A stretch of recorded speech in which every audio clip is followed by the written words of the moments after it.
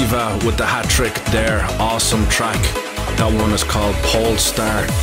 Giving us that classic Paul van Dyk sound. So clean and so pure. Absolutely top of the range stuff coming up next on the Subculture June Mix is a brand new track from Connecticut.